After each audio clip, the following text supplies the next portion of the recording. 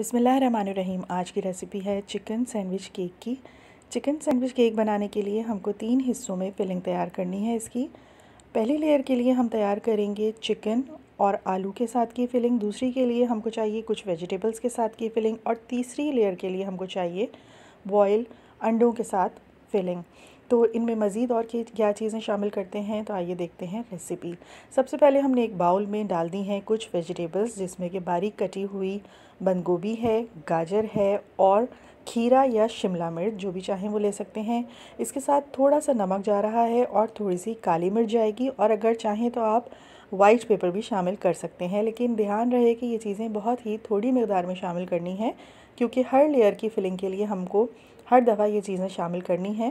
तो अगर किसी भी लेयर में ज़्यादा हो गई ये चीज़ तो फिर तेज़ हो जाएगा नमक। यहाँ पर मैंने चिली सॉस लिया है एक कप में। इसके साथ मैं थोड़ा सा केचप भी शामिल कर रही हूँ ताकि दोनों मिक्स होके बराबर का टेस्ट आ जाए दोनों का। शामिल करते हैं इस बाउल में हाफ़ ये सॉस जिसमें कि चिली सॉस है और केचप है। इसके साथ हम शामिल करेंगे इसमें मायोनीज़ और इसको अच्छी तरह करेंगे मिक्स ताकि तमाम वेजिटेबल्स मायोनीज़ और इस सॉस में अच्छे से मिक्स हो जाए। किसी भी चमचे या स्पेचुला की मदद से इसको अच्छे तरह से मिक्स कर लीजिए, ताकि तमाम ही वेजिटेबल सॉस में मिक्स हो जाएँ और कोई भी अलग से ना रहें वेजिटेबल्स। अब दूसरी फिलिंग तैयार करते हैं, वो बाउल हमने कर दिया है साइड में, दूसरा नया बाउल ले लिया है, इसमें डाला है हमने दो अदद आलू जो हमने मैश करके रखे हुए थे, वो डाल दिए हैं। चिकन बॉयल तकरीबन छः से आठ अदद बूटियाँ थी जिनको कि बॉईल करके नमक और काली मिर्च डाल के बॉईल किया था, इसके बाद इसको रेशा रेशा कर लिया है। ये भी डाल देना है इस बाउल में। इसमें भी शामिल करेंगे थोड़ा सा नमक, चुटकी भर नमक, काली मिर्च वाइट पेपर अगर चाहें तो डाल दीजिए। इसके बाद वही सॉस जो हमने तैयार किया है चिली सॉस और केचप मिला के सॉस डालने के बाद इसमें डाल देते हैं मायोनीज़ इतना मायोनीज़ डाल दीजिए कि ये भी अच्छी तरह से मिक्स हो जाए मायोनीज़ और इस सॉस के साथ। इसको भी करते हैं अच्छे तरीके से मिक्स स्पेचुला या चमचे की मदद से।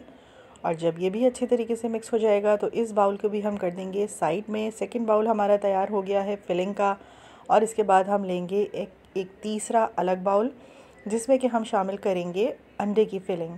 अंडे की फिलिंग बनाने के लिए हमने पाँच से छः अदद अंडे सख्त बॉईल करके पहले से रखे हुए हैं।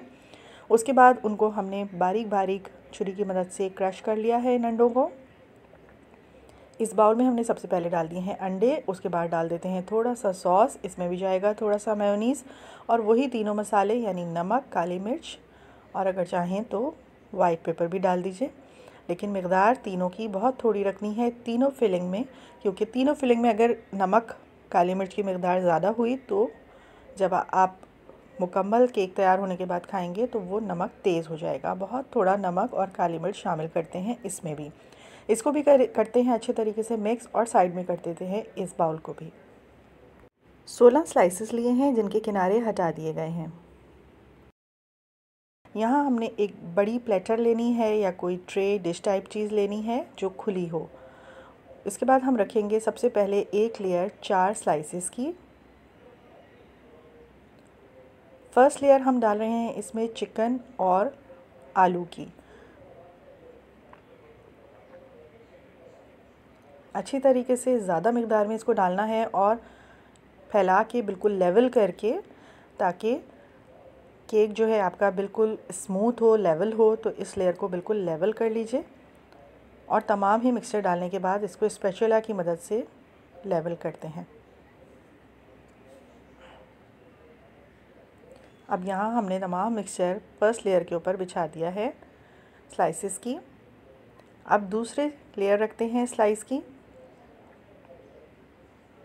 इसके ऊपर डाल रहे हैं हम वेजिटेबल्स वाली फिलिंग। और उसको भी अच्छी तरीके से इसके ऊपर डालने के बाद फैला देंगे ताकि कॉर्नर्स तक तमाम जगह कवर हो जाए इस फिलिंग से।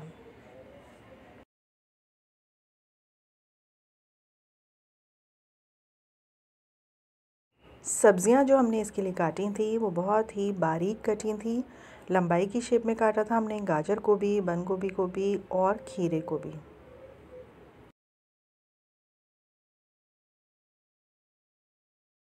सेकेंड लेयर भी तकरीबन तैयार हो चुकी है। इसको अच्छे तरीके से स्पैचुला की मदद से फैला के, लेवल करके और कॉर्नर्स को भी क्लीन करके अब हम लगाएँगे स्लाइसेस की थर्ड लेयर। ये लेयर हो गई है कंप्लीट। अब लगा देते हैं इसके ऊपर स्लाइसेस की थर्ड लेयर और इस लेयर के ऊपर हम लगाएँगे अंडे की फिलिंग जो हमने तैयार की है वो।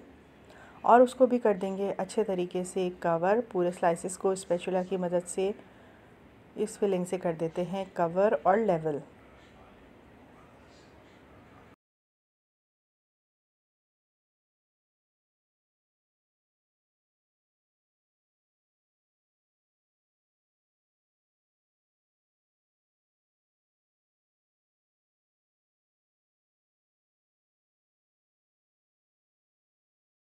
पाँच से छः अदद अंडे थे ये, काफ़ी रहेंगे। बारह स्लाइसेस के केक के लिए इसको कर देते हैं अच्छे तरीके से इसके ऊपर लेवल और इसके ऊपर अब हम लगाएँगे एक और फोर्थ लेयर स्लाइसेस की, जो कि लास्ट लेयर है। इसके बाद हम कर देंगे इसके ऊपर क्रीमिंग क्रीम बनाने के लिए यहाँ पर मैंने ली है सादी मिल्क पैक क्रीम लेकिन इसके साथ एक चीज़ और ऐड करनी है जो मैं नहीं कर सकी। आप अगर बनाएँ केक तो ज़रूर ऐड कीजिएगा। वो है क्रीम चीज़ क्रीम चीज़ जो है, अगर आप वो इस क्रीम के साथ मिक्स करेंगे तो बहुत ही अच्छा टेस्ट आ जाएगा। ये वाली क्रीम चूँकि ये सिंपल क्रीम थी तो मैंने इसको थोड़ा सा बीट कर लिया है। और अब मैं डाल रही हूँ स्लाइसिस के ऊपर। इसको अच्छे तरीके से लेवल करते हैं कवर करते हैं, ताकि शेप अच्छे से आ जाए केक की।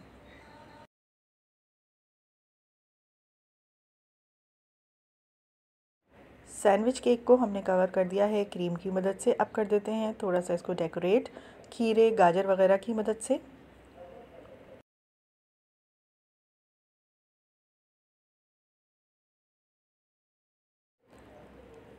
सैंडविच केक हमारा तैयार है, बहुत ही मज़ेदार सैंडविच केक। किसी भी दावत में आप इसको रख सकते हैं, बहुत ही मज़ेदार बनता है ये सैंडविच केक। अब इसको करते हैं छुरी की मदद से पीसेस। और एहतियात से इसको उठाते हैं और अलग प्लेट में डालते हैं। एहतियात से इसके पीसेस करने हैं, क्योंकि स्लाइसेस की लेयर्स हिलनी नहीं चाहिए पीस करते वक्त। तो आराम से कांटे की मदद से दूसरी साइड से सपोर्ट देकर इसको हमने बीच में से हाफ़ करना है। रेसिपी पसंद आई हो तो चैनल को सब्सक्राइब कर लीजिए और बेल आइकन का बटन भी दबा दीजिए ताकि आने वाली हर वीडियो आपको टाइम पे मिल सके। वीडियो को ज़्यादा से ज़्यादा शेयर कीजिए। Thanks for watching and supporting